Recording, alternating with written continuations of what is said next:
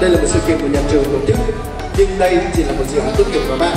À, các bạn đã gói ghém tất cả những kiến thức những kỹ năng của mình để tạo nên một cái sự kiện à, rất hoành tráng trong buổi tối ngày hôm nay.